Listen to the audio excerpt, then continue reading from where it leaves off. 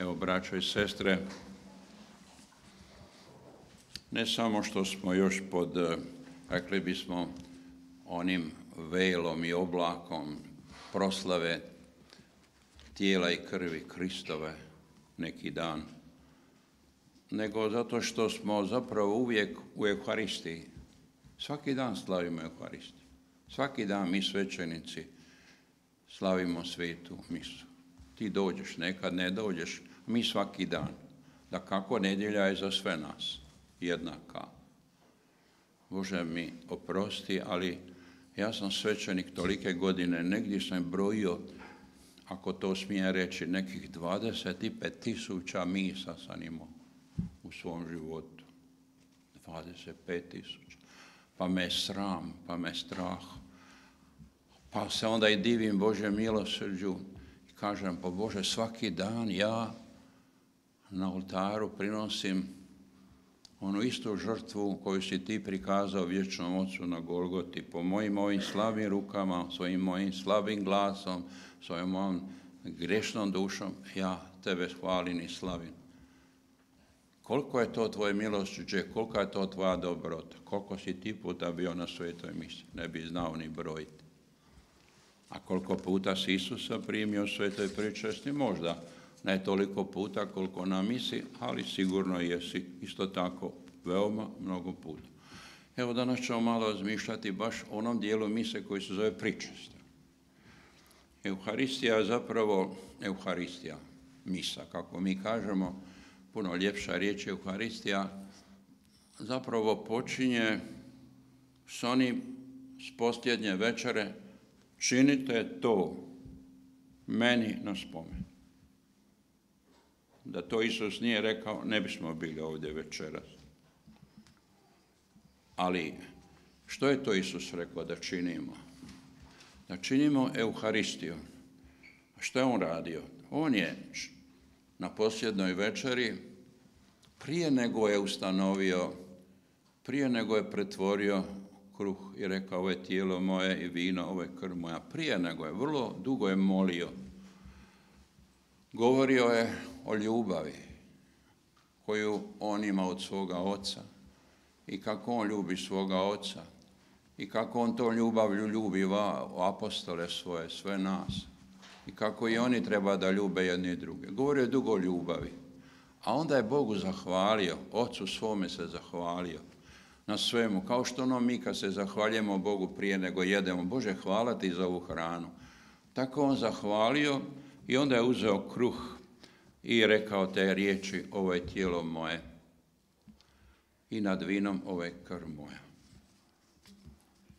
To je tijelo i krv koja je tu na sakramentalnim prilikama, na sakramentalnim prilikama, ali koja će se zapravo sutra dan prikazati vječnom ocu krvavo na križu. Tijelo se predaje, krv se proljeva, Ocu na slavu, a nama na spasić. Dakle, sveta misa je najprije hvala Bogu. Ono što mi u svetoj misiji na kraju haristijske molitve kažemo zahvaljujemo ti ili tebi čast i slava sva Oce, Oče sve, po Kristu, s Kristom i u Kristu, u jedinstvu Duha Svetog. Misa je dakle najprije zahvala i hvala Bogu. Možeš reći, kad ideš na svetu misu, idem Bogu zahvaliti. Jer zapravo osnovni stav svakoga vjernika je slaviti i hvaliti Boga. Prvotno. A mi, kršćani, imamo, rekli bismo, dva, dva stupa svoje vjere, dva događaja naše svete vjere, dva tajstva naše svete vjere, koji su nam uvijek pred očima, to je utjelovljenje i otkupljenje. Utjelovljenje Sina Božjega i Isus koji se prikazuje Bogu Ocu na križu. E, najprije razmišljamo kako je On postao čovjek radi nas, a onda razmišljamo kako je kao Bog i čovjek dao Bogu hvalu Ma ne možemo reći samo umjesto nas, nego skupa s nama. Jer Isus nas poziva u svete Euharistiji da mi skupa s njim slavimo i zahvaljujemo Bogu e, za sve što nam daje i da ga častimo. Zato uvijek imamo pred Isusa koji je Bog, ali koji je i čovjek, tako da je zapravo sve ono što mi Bogu rećemo hvalati i slavati, bez njega ne bi imalo neku vrijednost. Ali s njime, po njemu, kad mi to kažemo Bogu, ona ima veliku vrijednost. Svaka naša molitva i svaki naš amen. Onda misa je žrtva Kristova.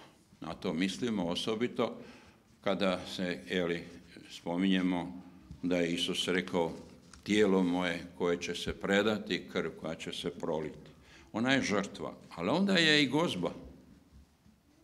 Jer je Isus htio da to slavljenje Boga i tu žrtvu koju je on prikazao vječnom mozu njemu na spasenje, njemu na slavu, a nama na spasanje, da ta žrtva bude nama dana u liku gozbe. I zato je rekao Isus uzmite i jedite. Dakle, nije rekao ovo je tijelo moje koje će se za vas predati ili krv koja će se proliti ne, i ni činite tome na spomen, nego rekao uzmite jedite to. I zato mi u svetoj misiji idemo na pričest. Idemo sudjelovati na najintimniji način u tom njegovom zahvaljivanju, u tom njegovom predanju, u toj njegovoj žrtvi. Sveta misa, kako smo nedavno isto o tome govorili, kako nas uči i papa i crkva, sveta misa ima svoju veliku vrijednost i bez pričesti. Ako ti ne dođeš na pričest, bilo koji razlog da je, ali ona ima beskrajnu vrijednost, ti si prisutan, recimo nedjeljom, dođeš na misu, dužan si doći na misu, ne mogu ići na pričest nekog razloga, ali misa je tebi tvoja dužnost i tvoja čast i tvoja vrijednost. Ali da kako da je punina zapravo mise u tom času i da je sve na neki način ono što je što je Isus učinio za nas, nama najbliže u času kad ga primamo pod prilikom kruha redovito ili nekad i vina. A to sveta pričest je gozba. Kako uvijek je sveta misa prvotno žrtvena gozba. Nije to samo onako gozba kao što pravimo druge gozbe, nije to ono što kaže papa Ratzinger, da nije Isus nama htio ostaviti večer za uspomen, nego muku svoju. Prema tome, E, kad mi jedemo tijelo Kristo, jedemo ono tijelo, blagujemo ono tijelo koje je žrtvovano na križu i koje je uskrsnulo, živi Isus. Ali u liku jedne gozbe jedne. Zato je sveta pričest u nekom smislu vrhunac. Nije ona naj nešto vrijednije u misi, jer može biti misa i bez pričesti, Isus se žrtvo, Isus se prikazao, ali ako ja želim u potpunosti sudjelovati u dijelu spasenja, onda ja idem da primim Isusa pod prilikom kruha. Ali zato mi se treba pripraviti. Sveti Pavao kaže, osobito upozorava vjernike da sigurno je bilo i onda i uvijek nereda bilo u crkvi, a neki dođu pa već su jeli, pili, ko zna kakvi su, i onda idu na priče. Moramo se prije dobro ispitati da li imamo na duš, da li nam je duša, kako mi to kažemo, u milosti Božjoj. Pa mi to jednostavno kažemo, ako nemamo teškoga grijeha, pa se onda tu nekad ovako možda i pitamo, a šta je teški grijeh, pa je stani baš teško sa griješo, smijem li napričest. Ali više manje poznamo svoju, svoju duše, duhovnost i duševnost, pa znamo što je teški grijeh i nikad neću pristupiti svetoj pričesti u stanju teškog grijeha, jer to bi bilo onda sve to grđe. Onda bi imao još jedan grijeh koji je još veći nego onaj što sam ga, s kojim sam došao na pričest. Pogrditi Isusa. Dakle, uvijek moramo se ispitati jesmo li milosti Božjoj, ali ne trebamo se bojati ako imamo tih, što mi kažemo, malih grijeha. Jer nikako nam još u glavu ne ide da se mali grijesi opraštaju i izvan ispovjedi. A jedan od načina najsigurnije je sveta pričast. Ako ti imaš par malih grijeha, pa kako ću sad napričati, ma isto sam nešto grubo rekao ono, ma pokaj se i obećaj neću, sutra ću biti bolji. A onda pođi na pričest. I sama pričest će ti izbrisati te grijeh. Ti ih možeš kasnije ispoviti, a i ne moraš. Ali je uvijek važno iskrena srca i ponizna duha pokajan pristupiti, jer niko nikad nije dostojan. Kako ću ja, čovjek, pa da sam ne znam kako savršen, primiti svoga Boga pod prilikom kruha. Kad svećenik podigne hostiju, veliku obično, pa pokaže ljud, narodu i kaže evo jaganca Božjega, evo onoga koji oduzima grijehe svijeta. Uzima svećenik tada usta riječi svetoga Ivana, krstitelja, koji je na rijeci Jordanu krštavao narod, pa Isus u to došao i Ivan je upravo prstom u Isusa i rekao, evo vam jaganca Božjega koji oduzima grijeh svijeta. Svi su židovi dobro razumjeli što to znači. Možda mi, možda nama da Isus jaganjas ne, nešto prvi čas odmah ne znači, ali znam njihova, njima je to bilo jasno jer su uh, oni svoje jahance glavnom žrtvovali, najviše jance žrtvovali na žrtveniku u Jeruzalemu, prikazivali Bogu u časti za oproštenje grijeha i tako dalje. Zato su dobro shvatili te riječi, pogotovo što su to riječi i proročanske riječi Staroga Zaveta u kojem se naznačuje Isus kao jaganjac Božji, kao onaj koji će prikazati svoju žrtvu kao nevino janje na žrtveniku u Jeruzalemu, tako je on kao nevino janje na križu. Zato ga obično i nazivamo, jer je da je Isus janje Božje, jaganjac Božji. I kad svećanik kaže evo jaganca Božjega, dakle on nas kao hoće spomenuti, ko idemo na pričast, kao da kaže gledajte, to je ono nevino janje koje je za tebe prikazalo sebe na križu. Njemu pristupi. A onda svećanik kaže jedne druge riječi. Blago onima koji su pozvani na gozbu Jagančevu. I opet uzima riječi iz Svetoga pisma, iz zadnje knjige Svetog pisma, otkrivenja od Ivana, ovoga drugoga Ivana, koji je to napisao, Ivana evanđeliste, koji kaže da je Bog Otac sprema svome sinu gozbu na nebu i kaže jagancu. I uvijek se spominje taj koji sjedi na prijestolju i jaganja pred njim. I zato kaže blago onima koji su pozvani na tu gozbu jaganča. Znači da ti koji prihvaćaš, koji prihvaćaš Isusa kao janje, koji se zatim žrtvovao, da ti zapravo vjeruješ da ćeš biti dionik te nebeske gozbe jagančeve. A Isus je to više puta, na više načina govorio, ko jede moje tijelo ima život vječni. Ja ću ga uskrisiti u posljednji dan. Ko jede moje tijelo i pije moju krv, on je u meni i ja u njemu. I zato kogod jede tijelo i pije krv Kristovu ima život.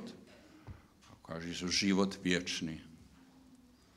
A onda svi mi odgovaramo na riječi svećenikove, gospodine nisam dostojan. Opet iz, mi, narod Boži, izabire jedne riječi iz svetoga evanđelja, kad je onaj stotnik govorio Isusu, gospodine, ja nisam dostojan da ti dođeš u moju kuću.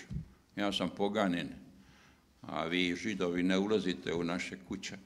Pa je on tako u skromnosti rekao, nisam ja dostojan, ti samo reci riječ, meni je dosta, ja tako vjerujem, da tebi dosta, samo reci neki on ozdravi, ja vjerujem. Jel? I onda Isus se zadivio, koja je to vjera tom čovjeku, da ja ne moram niti doći u njegovu kuću da, da položim ruke na njih ili da nešto rekne, nego samo da rekne odavle, neka bude zdrav i on će biti zdrav. I stvarno je tako bilo. Došao je kući i našao zdravoga svoga slugu. Dakle, To je jedna vjera. Nisam dostojan da uđeš pod krov moj, ali ti reci riječ, gospodine, i moja duša će biti zdrava.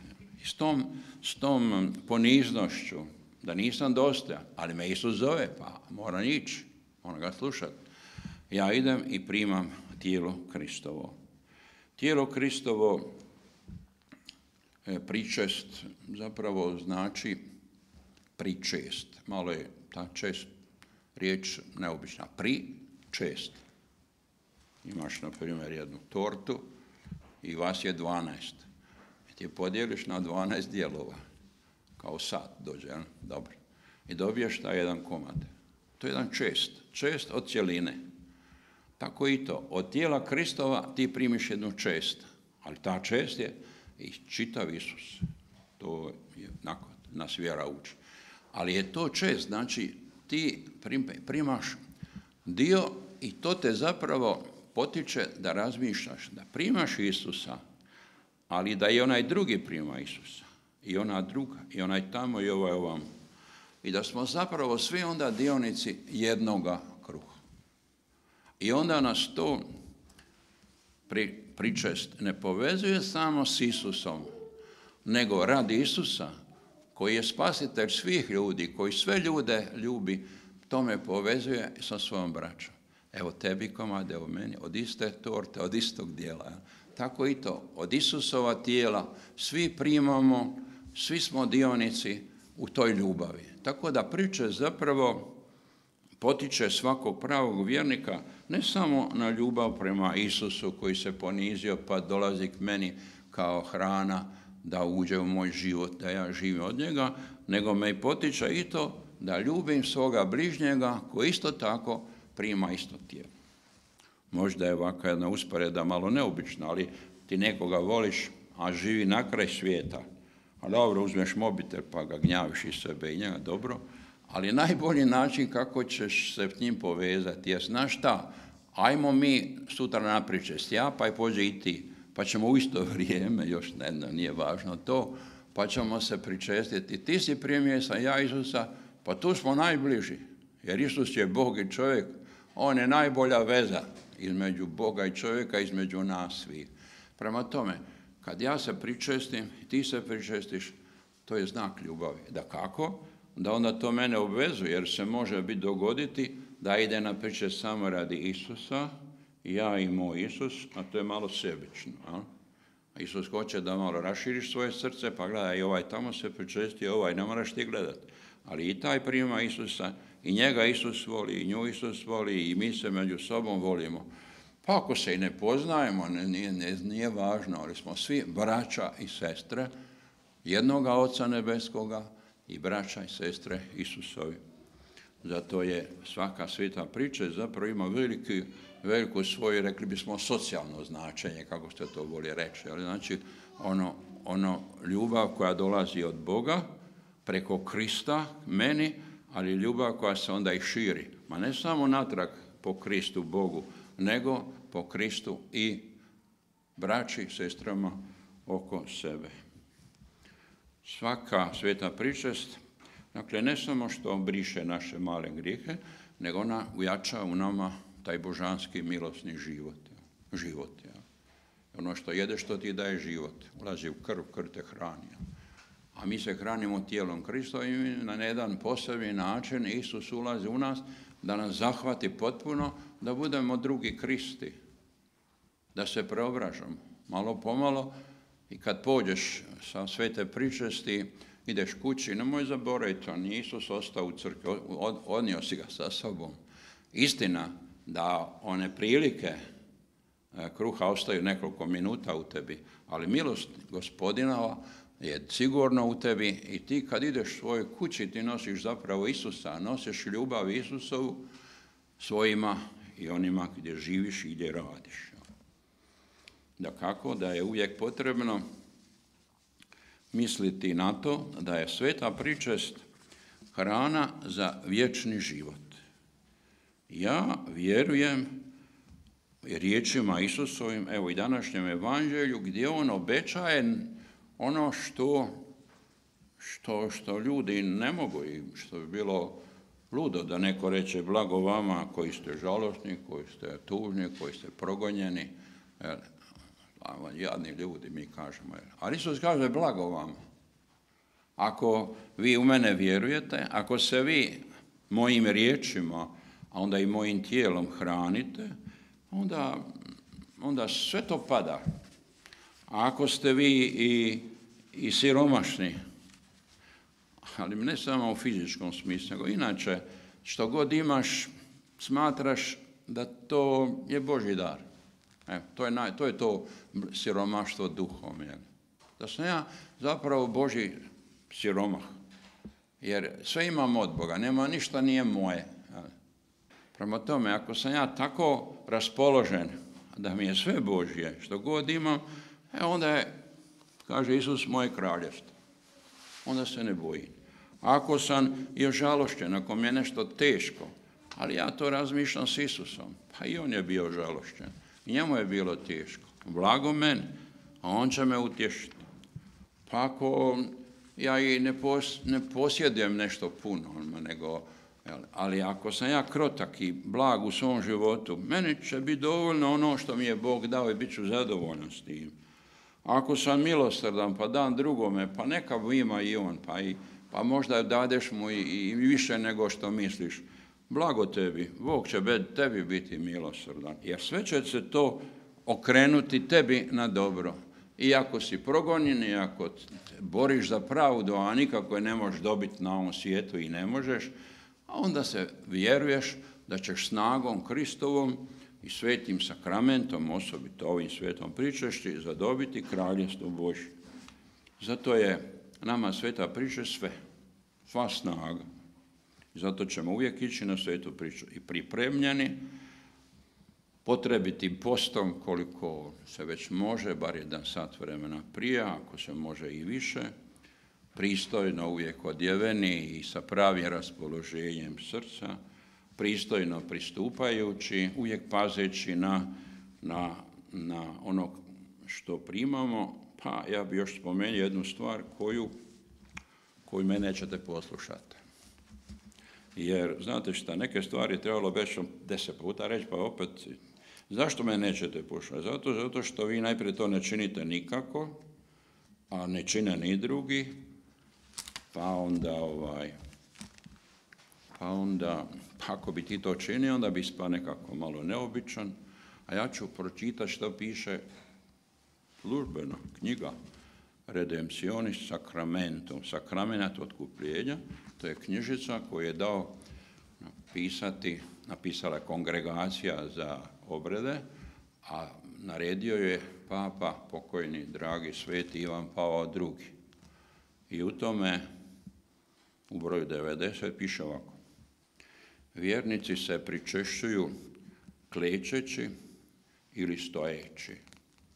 Kako to odredi biskupska konferencija? Naša biskupska konferencija može jedno i drugo. Kad se pričešćuju stojeći, preporučuje se Dakle, preporučuje se, ne, ne, naređuje se, nego preporučuje se. I to ima na drugim mjestima uvijek, jako se preporučuje. Da se prema istim odredbama iskaže dužno poštovanje prije nego se primi sakramenat.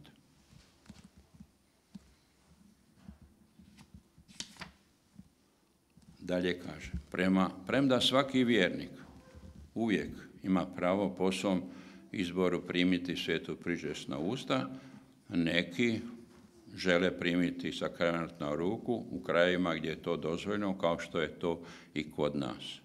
Ipak, neka se na osobiti način brine da se hostija u prisutnosti služitelja, svećenik, odmah u cijelosti blaguje, te nitko ne ode noseći euharistiju u ruci. Ako postoji opasnost od obeščašćenja, neka se vjernicima sveta prižest na ruku ne podjeljuje. I broj 93. Pliticu za pričest vjernika vazda, valja zadržati kako bi se spriječilo da sveta hosta ili njezin dio ne padne. Zapravo, to je ponavljanje isto tako jednog dokumenta još poslije drugog Vatikanskog koncila, koji se na posebni način naglasuje to klanjanje Isusu. Dragi, opet spominjem dragog kardinala Karcingera, zapravo kasnije papu, on je rekao, on često puta spominje sveta Augustina koji kaže nemojte se pričesti ako ste niste prije klanjali. To je Bog, trebamo se pokloniti. Ne mogu ja doći na priču sa onako ko nekom maršu. Don. Glava mi uvijek tako gori negdje. Dakle, šta se, konkretno šta bi se moglo? No? Ako nema klecala, a uništili smo ih ima već 50 godina, prije bilo uvijek, svi su se klečeće, pričešija, dobro. Ako nema klecala, neki sad polako to uvode, da možeš kleknuti, ko hoće. To je jedan način. Ako klekneš, onda ne trebaš drugo ništa raditi, to je već znak da, klanjanja. Ali ako nema klecala, ako ti se ne kleče, onda barem prije nego pristupiš, prije nego pristupiš pričesti, pokloni se desnim koljenom do poda, to smo tako radili neko vrijeme, pa se to izgubilo.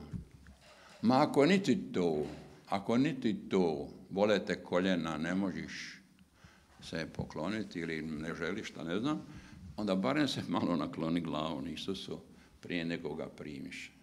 Dakle, nemoj dolaziti na no, još digneš glavu pa ideš niz crkva. Dakle, u poniznosti klanjanja, a i poslije toga onda mu se i posebno klanja, jel? Ne treba onda kad odlaziš s oltara se opet klanjati desnigo, jer Isus je u tebi, to je sve to tajstvo tu, ideš ti ravno na svoje mjesto. I to onako skromno možda, neću reći sagete glave, ali ne sigurno ako gleda okolo. Jel? Dakle, uvijek u duhu klanjanja i primati Isusa i u duhu klanjanja polaziti na svoje mjesto. Tamo se ne kaže nešto posebno, ali ostavljeno je na raspolaganju vjernicima, hoćeš li kleknuti poslije toga, pa se zahvalijeti, hoćeš li sjesti ili stati na nogama, izaberi kako ti odgovara. Evo, to sam želio posebno reći. Vidio sam to negdje sam to govorio, pa onda ljudi poslušaju jedan put, drugi put, treći već se zaborave. Zašto? Jer postoji jedna, jedna u fizici jedan zakon koji se zove inercija. Inercija to znači da tijelo ostaje u stanu mirovanja ili gibanja dok na njega ne dijeli neka druga sila. Iako morate nešto dobro gurnut, zakreneš. Dobro, tako i to. Kad ovo i hoću reći kako često puta neke stvari radimo, zato jer to tako se radi i prije, pa se ostaje živ, pa šta mi je. Dobro. Dakle, dobro je uvijek malo sebe ispitivati pred Isusom, Bogom svojim, klanjati mu se, ljubiti ga, primati ga s ljubavlju, znati s njime, rekli bismo poslije pričesti, razgovarati, pjevati zajedno i to. I onda ga nositi u milosti svoje, svom životu svagdašnjem. Evo, u Sveta Gozbo, kako je lijepa ta jedna od najljepših možda pripjeva, o Sveta Gozbo, na kojoj se Krist blaguje. Dakle, Gozba na kojoj se Krist blaguje, ali se slavi spomen muke njegove. Nije to samo neka večerica bila tamo, pa su malo jeli janjetine, malo nešto kruha, pa ajmo ovo, ono. nego to je žrtvovani, to je krvavi Isus, tako kažem. Na kojem se Krist blaguje, slavi se spomen muke njegove, duša se napunja milosti i daje nam se zalog života vječnoga. Pa eto, nek nam bude sveta pričest i današnja zalog života vječnoga. Amen.